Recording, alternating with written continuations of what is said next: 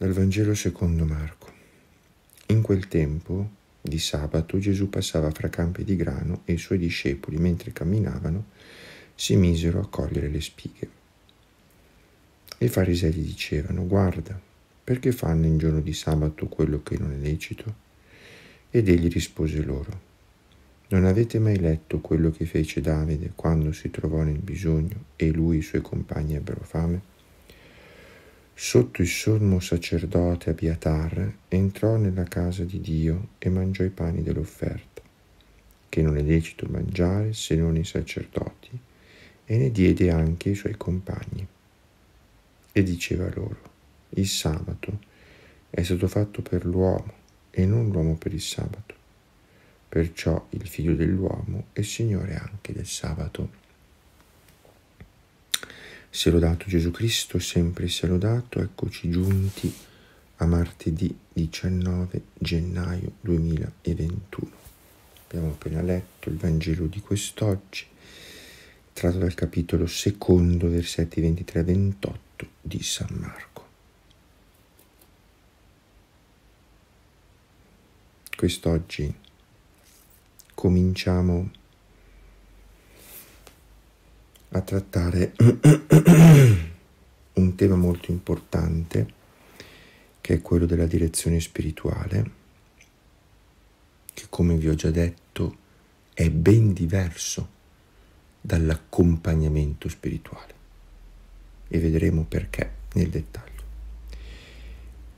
E la direzione spirituale perché di direzione noi abbiamo bisogno e di padri noi abbiamo bisogno e di essere figli abbiamo bisogno, perché se noi non sperimentiamo l'essere figlio non potremo mai diventare fratelli e non potremo mai diventare padri.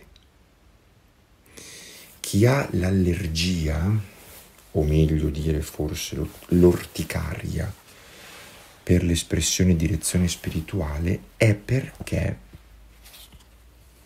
non ha una grande voglia di essere figlio e di sicuro non sa essere fratello. Dà fastidio pensare che qualcuno mi debba dirigere, mi dà fastidio. Ricordate il peccato peggiore, gravissimo che abbiamo visto in questi giorni eh, nel libro L'inconscio spirituale è quello dell'orgoglio. Io, no, pensate una persona affermata di 50 anni eh, o anche di più, o comunque insomma matura, no? Affermata con il suo lavoro, con il suo livello di potere, con eh, la sua formazione intellettuale. Io, io devo essere diretto. Da chi? Chi è che mi può dirigere? Nessuno. Io dirigo me stesso. Nessuno è all'altezza di me. Nessuno può dirmi qualcosa che io già non sappia.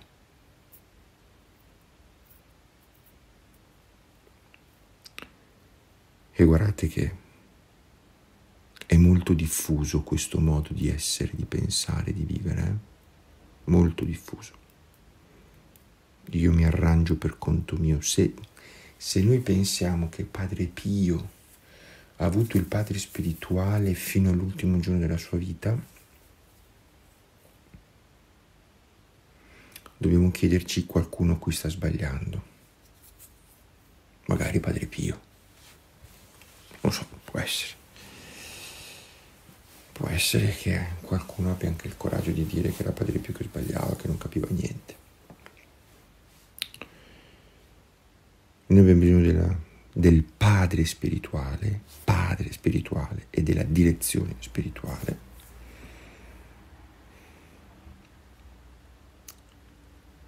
Perché non è facile comprendere ad esempio il Vangelo di oggi. cosa vuol dire questo sabato che è fatto per l'uomo e non l'uomo per il sabato. Sapete, ci sono molti modi di intendere e di interpretare. E da come noi interpretiamo ad esempio questo versetto, poi di conseguenza viene fuori l'ipotesi, l'indicazione per una vita. Eh? Per questo che abbiamo bisogno di qualcuno che ci dica. E allora eccoci qui, questo bellissimo libro, L'inconscio spirituale di Larcher scrive. Iniziamo questo nuovo capitolo, no? La manifestazione di pensiero e direzione spirituale. Sapete, probabilmente proprio perché la direzione spirituale, a differenza dell'accompagnamento, prevede la manifestazione dei pensieri,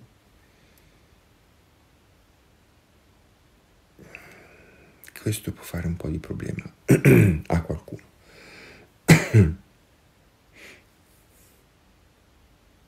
l'accompagnatore mi sta a fianco, colui che mi dirige mi sta davanti. Io accetto di stare dietro. Chi vuol venire dietro a me, dice Gesù, prende la sua croce e mi segue. Chi vuol venire dietro a me, perché non ha detto chi vuol venire a fianco di me? Facciamo l'accompagnamento spirituale. No, dietro di me perché io Gesù dirigo, io e solo io do la direzione, non tu e nessun altro. Scrive, in relazione con l'argomento di cui qui ci occupiamo, cioè la terapeutica delle malattie psichiche legate a malattie spirituali, la confessione presenta dunque molti vantaggi e li abbiamo visti nei giorni scorsi. Per un verso, essa permette con la soluzione dei peccati di curare in maniera radicale il senso di colpa, fondato oppure no che sia, e l'angoscia che ne deriva, senso di colpa e angoscia che sono legate anche a un certo numero di malattie psichiche. I peccati sono estinti e l'uomo ha la certezza del loro perdono da parte di Dio. Per altro verso, nella confessione l'uomo riceve, essendo esso un sacramento, una grazia che l'aiuta a combattere contro il ritorno di quei medesimi peccati. Quindi attraverso la soluzione, come abbiamo visto, il senso di colpa e l'angoscia che deriva dal senso di colpa legata al peccato, perché c'è un legame, eh? capite? C'è un legame tra peccato e angoscia, peccato e senso di colpa, perché è di fatto fatto male. Oggi che si vuole abolire completamente il senso di colpa, guai avere il senso di colpa, tu non devi avere il senso di colpa, ma il senso di colpa ci fa bene, certo, nelle dovute misure, ovviamente, come tutte le cose, ma chi ha detto che il senso di colpa fa male? È una parte fondamentale. Se io faccio il male, devo sentirmi in colpa e devo avere un senso di colpa. Non posso dire, ah sì che bello, si va bene, si fa niente, sì, non è un problema, come non è un problema. Certo che è un problema. Tu hai rubato, devi sentirti in colpa. È giusto sentirsi in colpa. Certo, non devo cadere nella disperazione, ma devo sentirmi in colpa. Viene l'angoscia? Certo che viene l'angoscia. Andate a dirglielo a Davide, al re Davide se non ha vissuto l'angoscia. Andate a dirglielo a San Pietro se non ha vissuto l'angoscia, se non si è sentito in colpa. Andate a chiederglielo a Giuda se non ha sentito la colpa. Certo, certo. È così. Siamo strutturati così. Il peccato produce questo senso di colpa e di angoscia. E mi dice, allora che cosa faccio? Ti vai a confessare? Ma invece di rimuovere il senso di colpa, invece di rimuovere l'angoscia, che e da qui vengono fuori disastri, invece di rimuovere queste naturali manifestazioni legate all'avere peccato, invece di rimuovere quelle, vai a rimuovere il peccato. Perché noi vogliamo rimuovere il senso di colpa, vogliamo rimuovere l'angoscia lasciando il peccato. E no, lasciando il peccato e banalizzandolo. Non è corretto. Lasciando il peccato dicendo che non è peccato, ma se è peccato è peccato, scusate. Vuoi risolvere il senso di colpa, vuoi risolvere l'angoscia, vai alla radice, rimuovi il peccato con la confessione e vedrai che il senso di colpa e l'angoscia spariranno. Capite? Questo è il processo giusto da fare, non l'altro. Non dire che il peccato non esiste, che tanto Dio perdona tutto, che tanto Dio perdona tutti, che tanto Dio non guarda queste cose, che tanto Gesù ha già perdonato tutti morendo in croce. E allora cosa ha inventato a fare il sacramento della confessione? Si è sbagliato. E anche Gesù, anche lui è un eccessivo. Forse anche Gesù è un rigido, non lo so. Perché l'ha inventato? Perché l'ha, dato?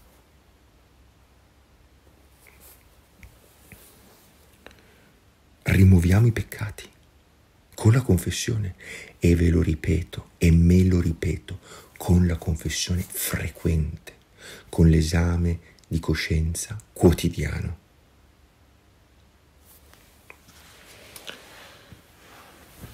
E inoltre la confessione, abbiamo visto, non solo rimuove la causa del senso di colpa e dell'angoscia, ma combatte anche attraverso la grazia di Dio il ritorno di quei peccati. Tuttavia, questa pratica della confessione presenta sempre soltanto dal punto di vista di cui qui ci occupiamo, cioè dal punto di vista terapeutico, eh, sta dicendo, dei limiti in primo luogo, perché essendo la confessione appunto un sacramento, non possiamo strumentalizzarla e servircene come fosse un semplice mezzo terapeutico.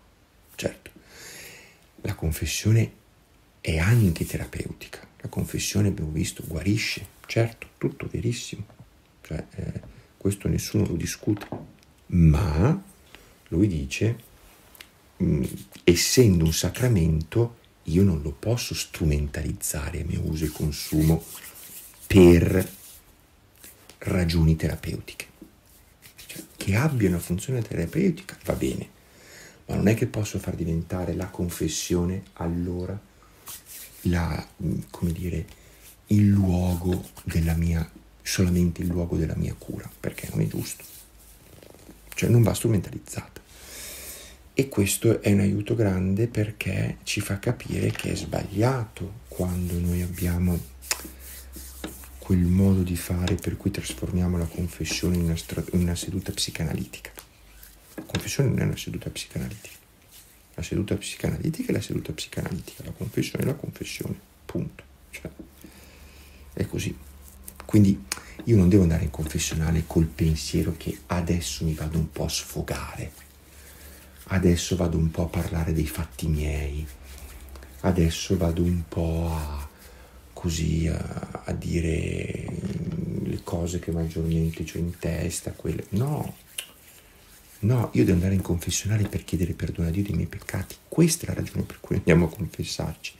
Poi certo abbiamo visto che la confessione serve anche per togliere l'angoscia, per togliere il senso di colpa, per ridarci la pace. Sì, sì, va bene, ma questo è successivo. Non strumentalizziamo mai la confessione. In secondo luogo, prendendo la confessione un tempo relativamente breve ed essendo le confessioni relativamente spaziate l'una dall'altra, nella generalità dei casi non permettono di seguire in modo continuo la situazione e il divenire del malato. Quindi la confessione non, cioè, nella norma non è che mi vado a confessare e sto un'ora in confessionale come potrebbe essere invece una seduta psicanalitica o psicologica che sia. Quindi il tempo è breve, non è pensabile che io stia tanto tempo, anche perché non serve. Se devo dire i peccati non serve.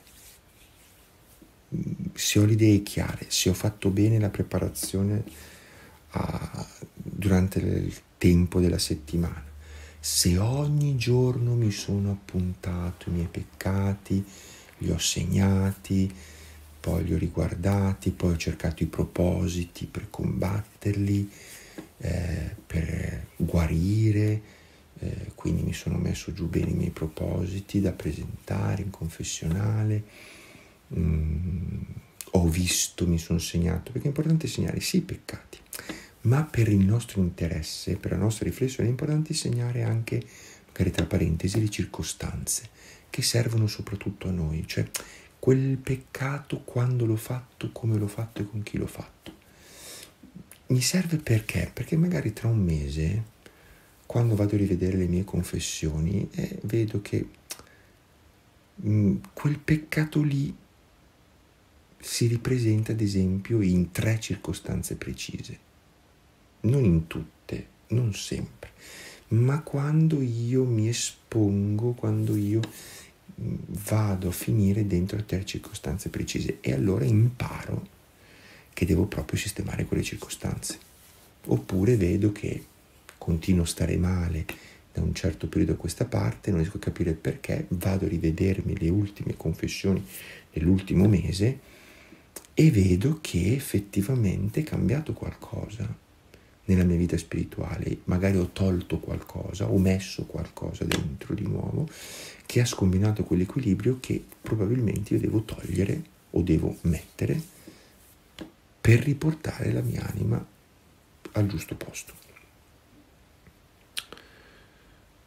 Poi, in terzo luogo, non tutte le turbe psichiche sono peccati o manifestazioni di peccati personali e quindi non diventano necessariamente oggetto di confessione. Cioè una malattia psichica non è sempre per forza frutto del peccato o peccati. La manifestazione dei pensieri o direzione spirituale, non dimentichiamoci mai eh, questa, questo la manifestazione dei pensieri o direzione spirituale è dunque chiamata a svolgere accanto alla confessione un ruolo complementare. Capite? Sono due realtà diverse che però devono stare insieme. Abbiamo bisogno di tutte e due, perché nella loro specificità e diversità sono fondamentali. Questa pratica della direzione spirituale risale ai primi secoli del cristianesimo. Pensate. Siamo ai primi secoli del cristianesimo. Molto bello.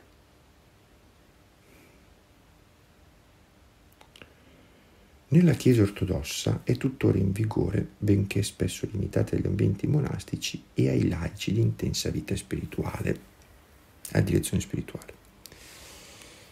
Beh, qua diciamocelo, in ambito cattolico sì, non è che sia molto diffusa. C'è, sicuramente la vive chi anche da noi vuole avere un'intensa vita spirituale, ma non è proprio così diffusa, diffusa. Anche perché non la sappiamo fare. Anche perché da una parte non è facile trovare il padre spirituale è più facile trovare un confessore, ma trovare qualcuno che mm, voglia fare il padre spirituale e, e magari si sente in grado di farlo, eh, questo non è così semplice. Perché come vedremo, il fare il padre spirituale, svolgere questo ruolo così importante e delicato è tutt'altro che una passeggiata e comporta una responsabilità grave, grave sotto tutti i punti di vista per il sacerdote e anche per il fedele, perché inizia un cammino molto preciso, che ripeto non è l'accompagnamento spirituale.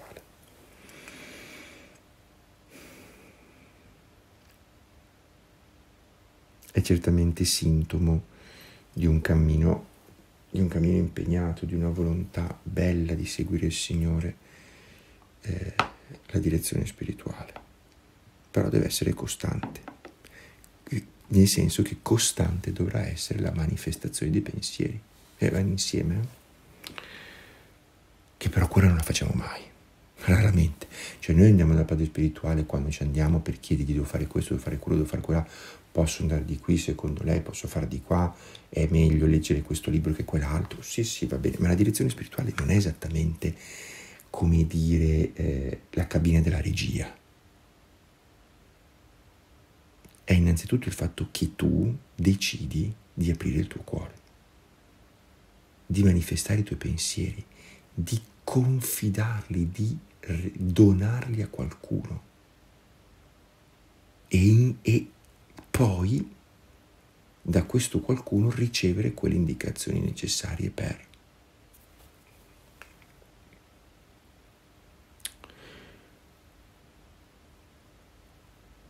La manifestazione dei pensieri, scrive, si può accostare alla confessione e tuttavia se ne distingue ampiamente.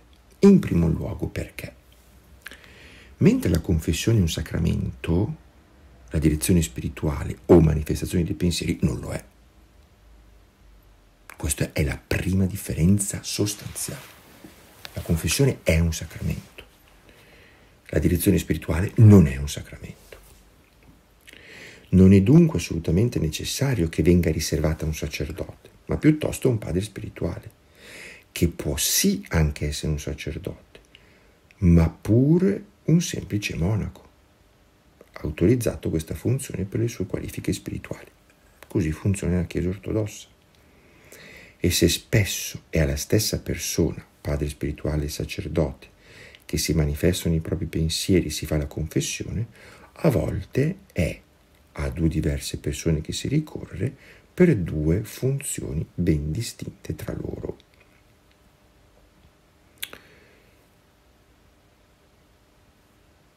Ecco, quindi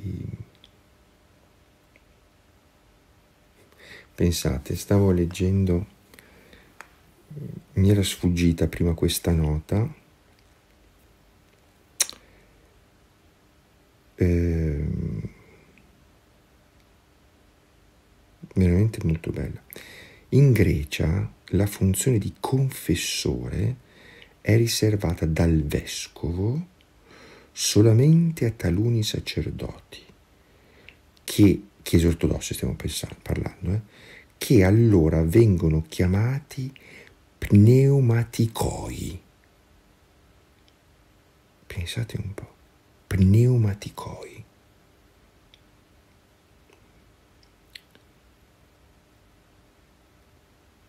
Cioè questi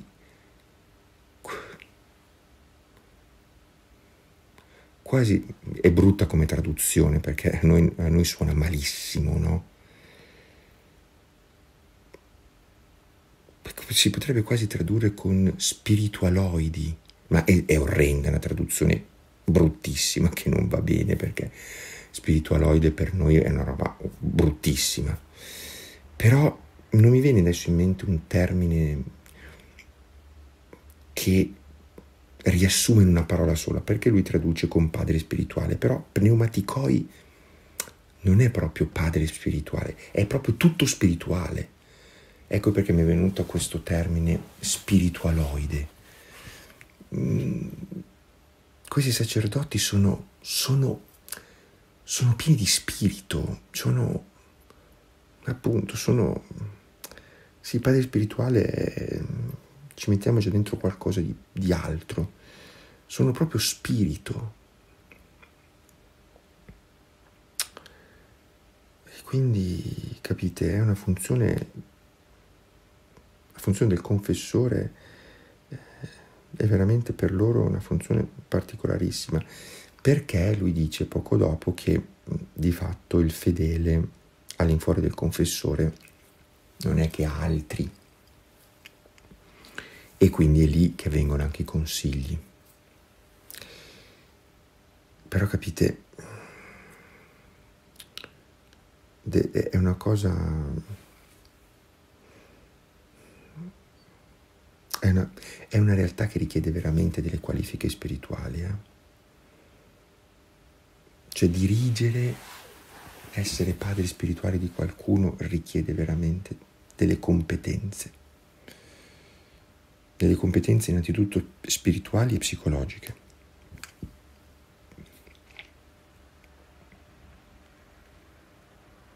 Quindi può essere la stessa persona, può essere due persone diverse. In secondo luogo, mentre la confessione è ammettere i propri peccati davanti a Dio alla presenza del sacerdote per ricevere la soluzione, la manifestazione dei pensieri consiste invece nel far parte dal Padre spirituale stesso di pensieri che non necessariamente sono peccati. Capite? Cioè, mentre io devo al, in confessionale, al confessore, dire i miei peccati per avere la soluzione, la manifestazione dei pensieri consiste invece nel far parte del Padre spirituale di pensieri che non sono per forza peccati. In maniera da fargli conoscere il proprio stato interiore. Capite? Cioè manifesto in tutti i miei pensieri, quantomeno i più importanti, non in funzione della soluzione, ma in funzione del fatto che lui possa conoscere il mio stato interiore. Quindi più manifesto, più mi conosce. Più narro, più racconto, più mi conosce. E così ricevere dei consigli spirituali appropriati per avanzare nella via della guarigione spirituale e della salvezza. I pensieri da manifestare, uno dice ma quali sono questi pensieri da manifestare? I pensieri da manifestare al Padre spirituale sono dei pensieri attuali, non importa quali siano, che si ripetono o hanno una certa consistenza nell'anima. In verità sono questi pensieri che potranno dare al padre spirituale indicazioni significative sulla situazione, sulle tensioni, sugli impulsi, sulle disposizioni e tendenze interiori del suo figlio spirituale, sulle tentazioni che lo assidiano, provengano a essere dalla propria cupidigia o dalla diretta attività dei demoni. Capite? Quei pensieri che si ripetono. Uno dice, ma ti vuoi raccontare tutti i pensieri che ho? Evidentemente no. Cioè non posso dire tutte le cose che mi girano per la testa, non ha senso. Ma sono chiamato a manifestare quei pensieri che si ripetono, quei pensieri che attualmente sono molto insistenti o che hanno una certa consistenza, che hanno una certa densità. i pensieri di tal natura, perché così lui potrà meglio capire no? le tentazioni, le attività dei demoni. I pensieri tal natura sono pure liberatori dei punti deboli dell'anima, delle sue zone di fragilità, cui più volentieri i demoni si attaccano, delle sue zone in convalescenza e quindi più facilmente a rischio di ricaduta, o più comunemente delle sue parti ancora malate. Ecco credo che Beh, leggiamo ancora un pezzettino. La manifestazione dei pensieri consiste nel far parte del padre spirituale di ogni pensiero che turbi, di ogni stato insolito, di ogni dubbio, di tutto ciò che può inquietare o dare ansia. Mamma, guardate, sapeste quanto è importante tutto questo. Se non lo dico al padre spirituale, a chi è che lo vado a dire? La mia amica del Cotton Club. A chi è che le vado a dire queste cose? se non li dico a nessuno, ci muoio dentro qui. Eh. Se non li dico a nessuno, veramente, come dicevamo, spacco i matrimoni, distruggo le amicizie e perdo la testa. Perché queste cose qua corrompono, corrodono. Quindi questi pensieri che sono ricorrenti, questi pensieri che hanno una densità, questi pensieri che turbano, questi pensieri che sono strani, diversi, questi dubbi, vanno detti dubbi. Perché capite, il dubbio se non viene risolto scava, scava, scava, arriva la carne. Tutto ciò che mi inquieta, tutto ciò che mi crea ansia, vanno manifestate queste cose senza paura, dopo cosa penserà, e dopo cosa succederà, e dopo mi sgriderà, e dopo si arrabbierà, e dopo si lo deluderò, e dopo questi pensieri vengono dal diavolo. Noi dobbiamo dirli. Succeda quel che succeda, vanno detti. Perché solo così noi ci, ci curiamo, veniamo curati si può anche tutti insieme fargli conoscere certi particolari del proprio modo di vita, così da essere sicuri della loro validità, tenuto conto della loro incidenza sulla vita spirituale. Certi particolari del nostro modo di vivere. No, sa padre, io sono abituato mm, quattro volte alla settimana a bermi eh, due litri di vodka. Eh, magari diciamocelo può essere interessante questo dettaglio. Perché sai, nella valutazione del tuo cammino spirituale può darsi che magari due litri di vodka, di vodka tre volte alla settimana magari non sono proprio il meglio, a parte che nel giro di tre mesi probabilmente tu sei già la presenza di Dio perché ti è venuta la cirrosi epatica, ma al di là di questo, oltre a salvare il tuo fegato, magari potremmo anche pensare che questa cosa non sta proprio tanto con l'ascesi spirituale, no? Per esempio. Quindi vanno detti, capite? Queste cose vanno dette. Io penso che quanto abbiamo ascoltato ci aiuti a capire bene cosa dire e il perché dirlo. Perché è importante, uno diceva, da fare la direzione spirituale, ma cosa vuol dire avere un direttore spirituale? Ma cosa vuol dire fare la direzione spirituale? Ma cosa si fa durante la direzione spirituale? Questo si fa. Si fa questo. Questa cosa qui. Capite che non può essere fatta per email. Adesso lo capite bene, no? Capite che non può essere fatta su WhatsApp. Non può essere fatta attraverso Messenger di Facebook. Non, non può, non si può. Non si può.